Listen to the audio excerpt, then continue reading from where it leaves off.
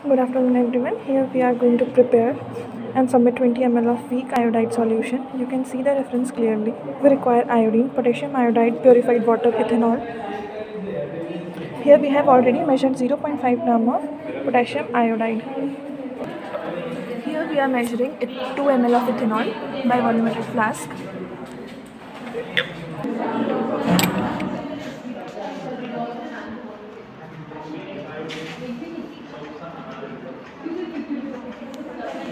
Here we are taking 20 ml of distilled water.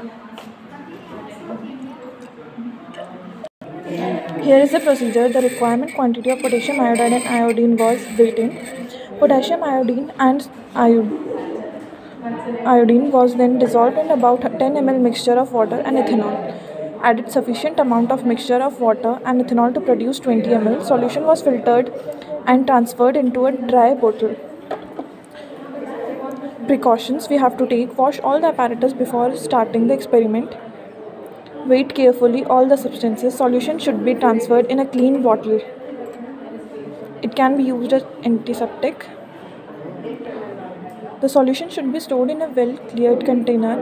The container should be resistant to the reaction with iodine.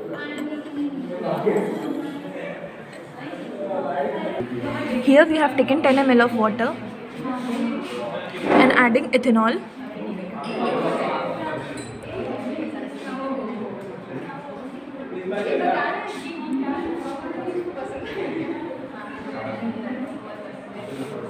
Now we are going to add potassium iodide and iodine here this is our iodine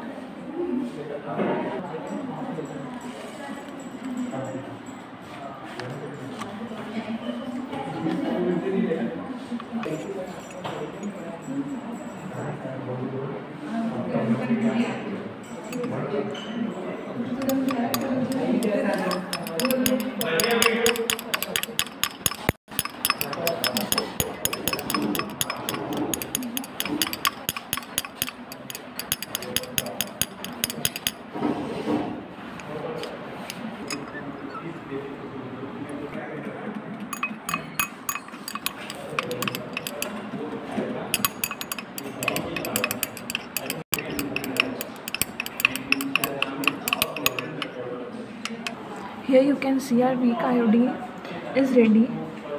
Now we can now the solution was filtered and transferred into a dry bottle